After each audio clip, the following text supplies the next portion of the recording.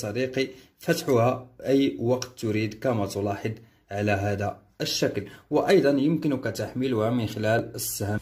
تريد قراءة رسائل الواتساب المحذوفة ومشاهدة الصور والفيديوهات المرسلة لمشاهدتها لمرة واحدة.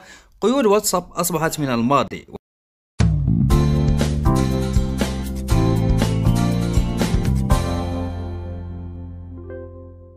واتساب التي أمامك أصدقائي هي نسخة طبق الأصل نسخة الآيفون ولكن بمميزات رهيبة جدا. أولها مشاهدة حالة أصدقائك متخفيا وكذلك يمكنك تنزيلها. صديقي بالنقر على ثلاث نقاط سوف تجد خيار تحميل كما تلاحظ. مع مجموعة من الامتيازات الأخرى كمشاهدة آه، الصور المرسلة لمرة واحدة فعلى سبيل المثال سوف أقوم بإرسال رسالة ومشاهدتها مرة واحدة فعلى سبيل المثال سوف نقوم بإرسال مسجد. كما تلاحظون الرسالة وصل أو الصورة وصلت. إذا فتحناها من الواتساب العادي أصدقائي كما نلاحظ فإن الصورة سوف تختفي ولا يمكنك مشاهدتها مرة أخرى. ولكن هنا يمكنك صديقي فتحها أي وقت تريد كما تلاحظ على هذا الشكل. وأيضا يمكنك تحميلها من خلال السهم هنا.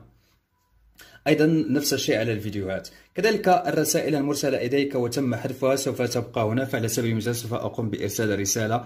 مرحبا مثلا. وسوف أقوم بحذفها. كما سوف نلاحظ تم إرسال الرسالة وصلتني. والآن سوف أقوم أصدقائي بحذفها لدى الجميع. إذا توجهنا إلى المحادثة في الواتساب العادي الرسالة تم حذفها. ولكن هنا كما تلاحظون لا زالت موجودة هنا وسوف يعطيك إشعار بأن هذه الرسالة تم حذفها كما تلاحظ. أيضا مميزات رهيبة جدا داخل هذه النسخة بالتوجه إلى ثلاث نقاط. هنا سوف نجد مجموعة من الخيارات. أبرزها وضع الطيران. عندما تقوم بتفعيله لن تصلك أي رسالة لأنك فصلت الأنترنت عن الواتساب وحده. لن تستقبل الرسائل ولن يمكنك إرسال الرسائل حتى تقوم بإلغاء وضع الطيران. إضافة إلى ذلك هناك علامة الزائد من خلال هذا الخيار ال telephone. number يمكنك مراسلة أي شخص عزيزي بدون أن تقوم بحفظ الرقم الخاص به في هاتفك. مميزات رهيبة جدا أصدقائي كتغيير التيم بالنقر على هذا الخيار مع مجموعة من الأدوات الأخرى داخل هذه النسخة الرائعة. أما طريقة التشغيل سوف تفتح الواتساب عند تحميله تقوم بالنقر على ربط الجهاز. بعد ذلك تقوم بالنقر على خيار link device على الخيار الثاني.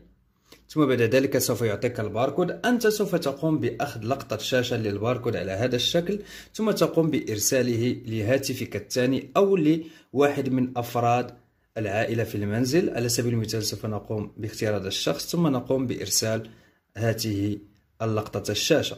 ثم بعد ذلك نقوم بالرجوع إلى التطبيق ثم نقوم أصدقائي الأعزاء بفتح الهاتف أو الواتساب الخاص بنا بالنقر على ثلاث نقاط. ثم نقوم بالنقر على link device أو ربط الأجهزة. ثم نقوم أصدقائي بأخذ تلك لقطة الشاشة من الهاتف آه، الثاني.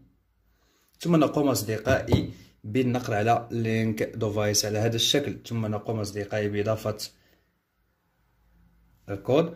ثم نقوم بتوجيه الكاميرا لتلك لقطة الشاشة على هذا الشكل. ثم ننتظر ريتما يربط الواتساب الرسمي بالواتساب الآخر.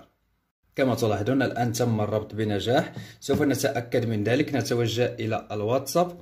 كما تلاحظون الآن يتم فتح الواتساب في النسخة الثانية. نقوم بإعطائه الصلاحيات على هذا الشكل.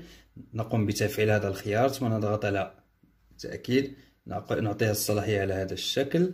نرجع إلى الوراء. ثم ننتظر ريتما يعطينا خيار التالي أو الإلغاء. وكما تلاحظون هذه هي النسخة التي أمامكم. على شكل واتساب الآيفون به كل الإعدادات والمميزات الخرافية.